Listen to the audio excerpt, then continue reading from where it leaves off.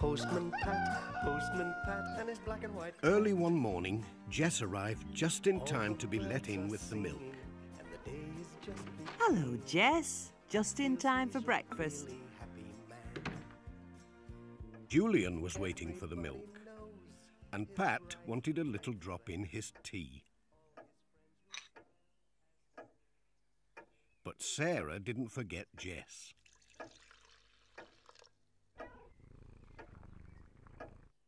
Time to be getting a move on, said Pat. I wonder what sort of day it's going to be. Let's see what the old barometer says. Oh dear, just look at that. It's pointing to snow. Now then, let's have a look at the sky. Hmm. Not a cloud. Pat tapped the barometer just to make sure. That's what I thought it said. Snow. Great! Snow? You mark my words, said Pat. We'll have snow today. I've never known my barometer to get it wrong. Snow? said Sarah again. Never in this world. There's not a cloud in the sky. Snow? said Julian. I don't mind. We're going on a nature walk this afternoon. It'll be more fun with a bit of snow. I better take some extra sandwiches, just in case. We'd better tell Mr. Pringle. It might not happen, said Sarah. Now off you go, or you'll be late. It was cold outside, even though the sun was shining. Pat hurried along to the post office. Ted Glen had his scarf on, a sure sign that winter was on the way. Morning, Pat. Morning, Ted. Morning, Mrs. Goggins. Brr, by gum, it's cold today. Morning, Pat. The post is none too hot either. I reckon it's going to get colder. My barometer was pointing to snow this morning. Snow? Oh, dearie me, not already. Surely not snow. Such a nice sunny day. Now, what was George saying when he popped in with the eggs? He had the radio on in his van. I'm sure they said it was going to be cold but dry today. Not a word about snow. These folks on the radio, what do they know about the weather in Greendale? Now then, my old barometer, I've never known it to be wrong. Jess had found something to play with. Pat and Mrs. Goggins were too busy to notice what had happened to the string. Now, that's for the village. I'll just tie it. Oh, now where's that string? It was here a minute ago. Um, is this it? Well, I think it is, but what's happened to my nice, neat ball of string? That cat can sense when snow's on the way. Come on, Jess. It looks as if a whirlwind's been at it. Never mind snow. Him and his cat. Pat was on his way.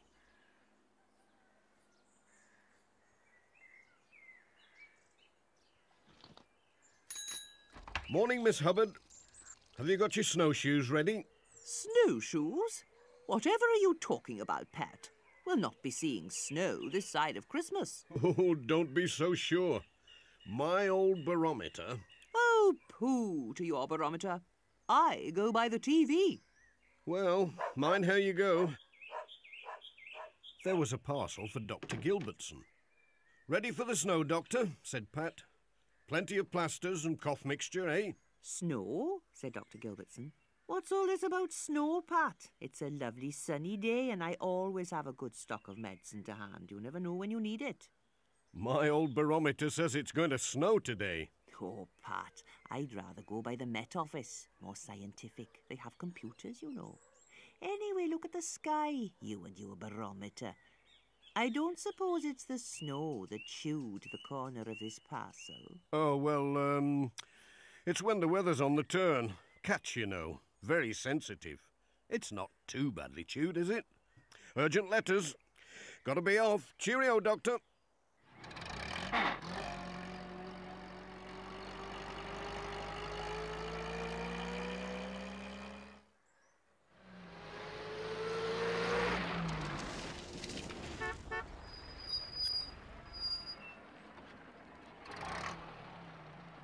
Morning, Pat. Lovely day. Morning, Alf. Have you got your stores in? Stores, Pat? What stores? Winter stores. In case you get cut off in the snow. But there isn't any snow, Pat. Not a flake. The man in the paper said it was set fine for two weeks. Oh, thanks, Pat. That's not what my barometer says this morning.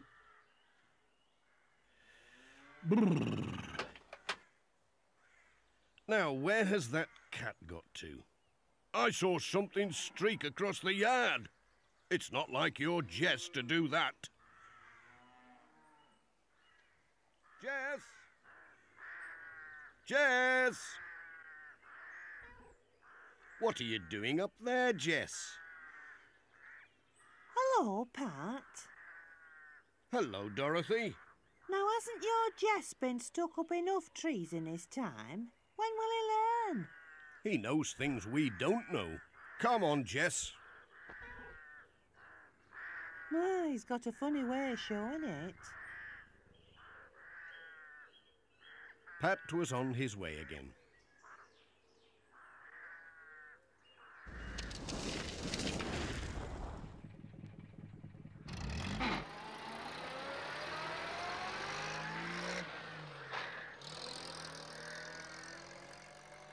Next stop was Granny Dryden's.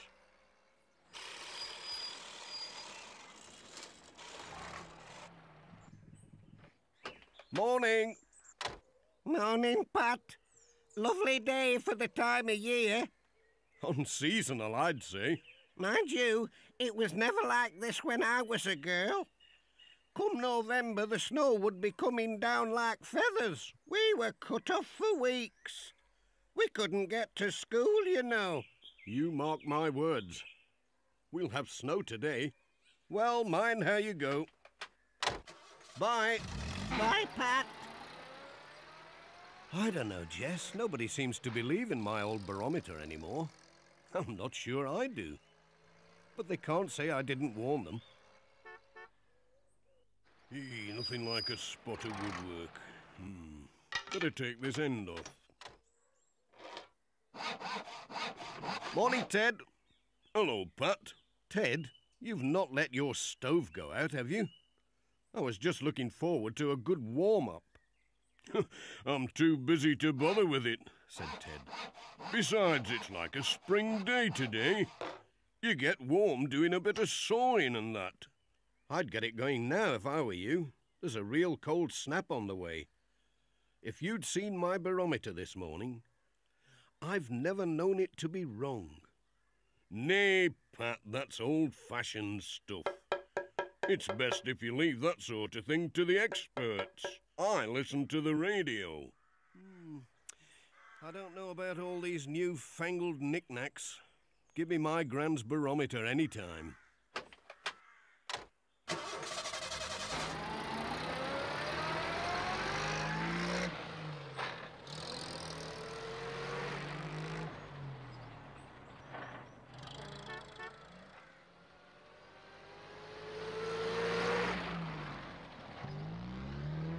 Hello, Pat.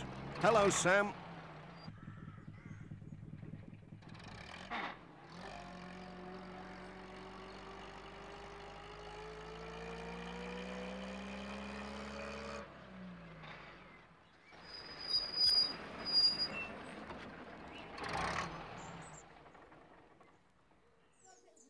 Pat arrived at the village school, just as Mr. Pringle was setting out with the children.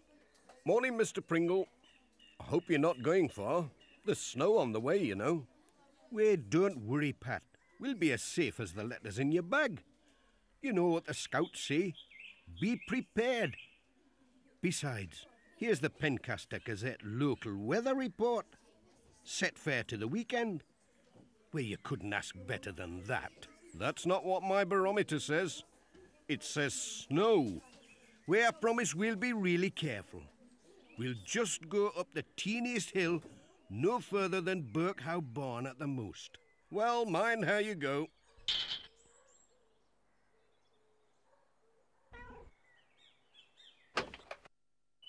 Eh, it makes you wonder, Jess. There again, I could be wrong.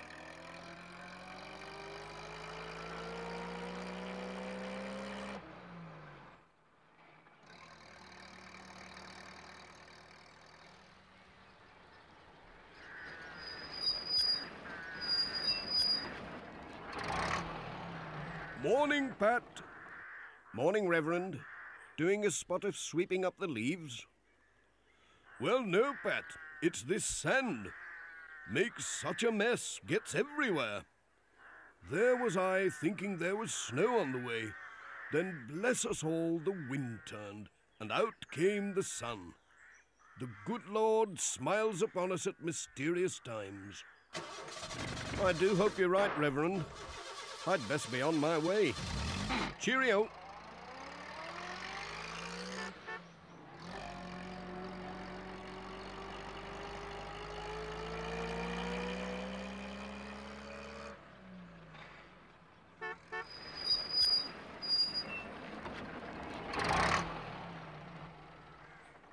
Hmm, it certainly is a mystery.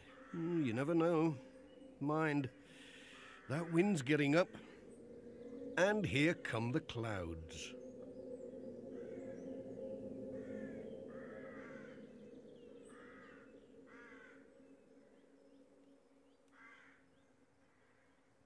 Hello, Pat. Afternoon, Mrs. Pottage. There's a parcel for you today. Thanks, Pat. I'd best not open it. I promised to meet the twins on their way back from. Oh, Pat, look! Snow at last, my dear old barometer was right after all. We'd both best be on our way before it gets really bad. And there's the ancient oak and the willow, and when the cold weather comes, the little creatures will begin the long winter sleep. I wouldn't mind staying in bed for the winter, said Tom. Mr. Pringle. And over in the meadow, the swift hare. Remember to put that in your nature diaries. Mr. Pringle, look. And here we see the last of the dog roses. Oh, please, Mr. Pringle. It started to... Over there, that's bracket fungus. Don't touch it. It's deadly poisonous. I'm cold. And there the rooks, flying from tree to tree, swooping and... Oops! Ow! My foot! Ouch, it hurts! Oh, Oh, Mr. Pringle, are you all right? It's, um, it's getting a bit snowy. And cold. Can we go home, please? oh, ouch. Well, yes, that would be a good idea. A very good idea. But I don't think I can walk, children. Dad's barometer was right after all. Oh, I wish he was here with his van to take us home.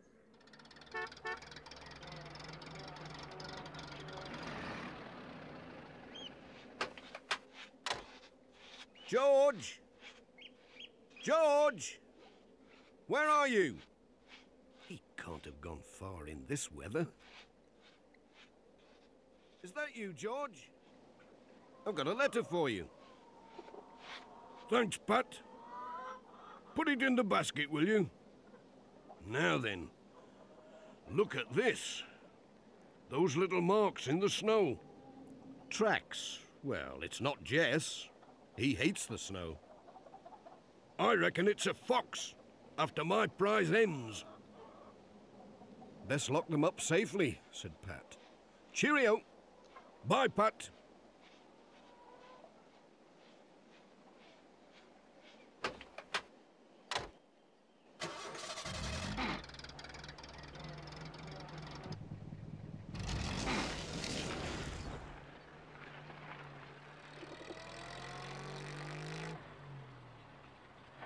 The deeper by the minute, and the road was slippery. Ooh, Oh. Coming downhill, Pat slid backwards into a field. Oh dear. Luckily, the oh, gate no. was open.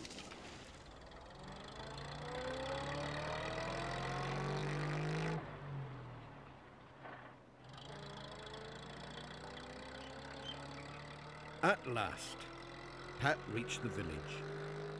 He stopped outside the school to collect young Julian.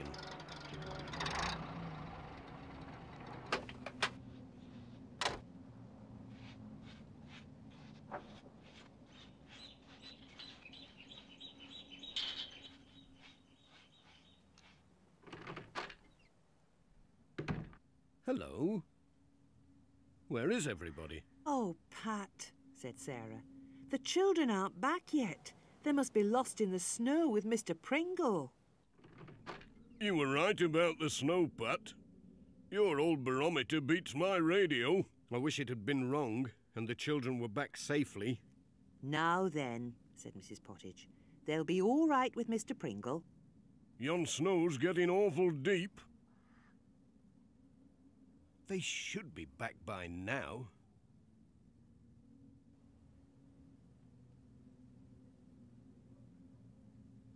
It's getting dark, said Ted. Well, the snow's stopped at least. Something must have happened to them.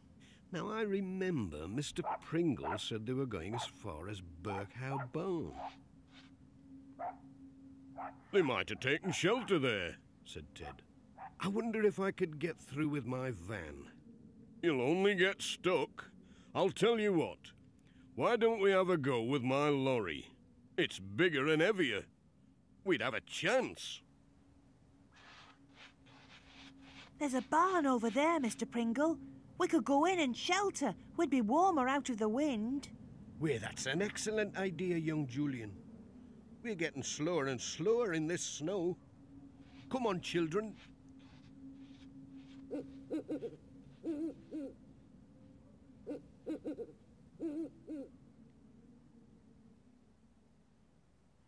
Ah, great!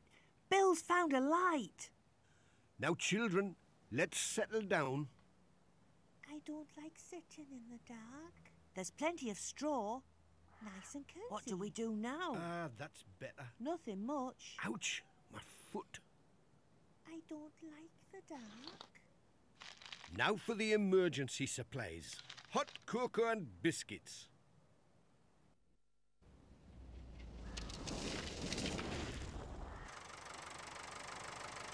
Any idea where we are, Ted? Well, I've seen that tree somewhere before. But everything looks different in all this snow.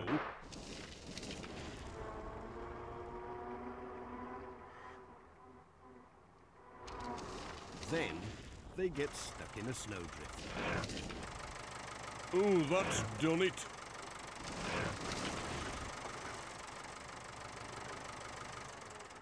Come on, Pat. We'll have to dig ourselves out. You dig your side, Pat. I'll dig mine. Mm. Bayek. Mm. Won't take long. Oh. Hot work, this. Ah. E. That should do it. Let's give her a try.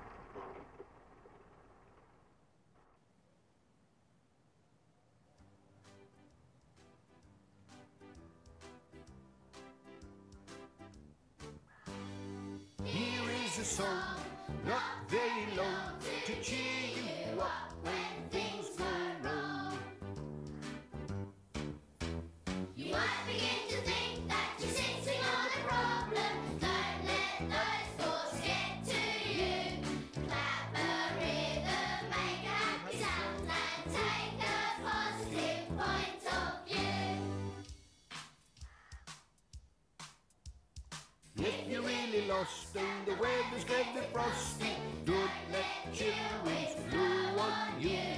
Clap your hands and make a rhythm, then we'll find that we'll win through.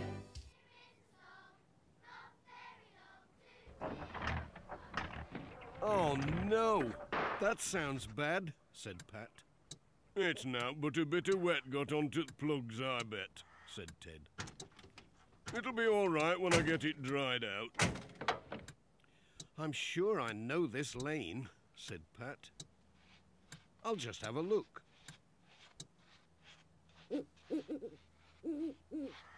Not that I'm going to see much in the dark.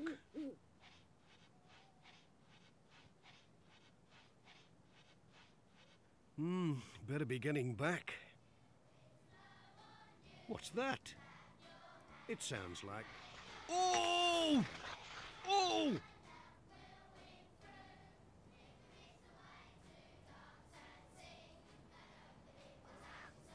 It sounds like singing. Ted! Ted! There's somebody over there singing. I heard them. Clear as clear. What are you on about, Pat? Singing? How can there be? Listen. You're right. Let's get a move on, said Ted.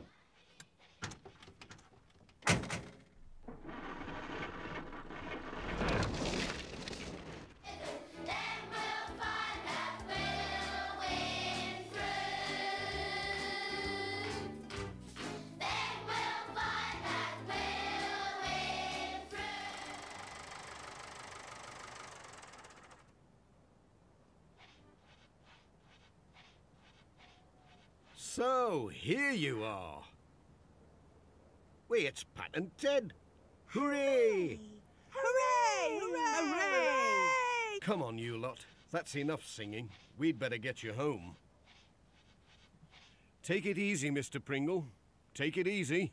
Like a hand, Mr. Pringle. Easy as you go now. Watch that foot. Thank you, Ted. Last one. Up you go. Okay, Ted.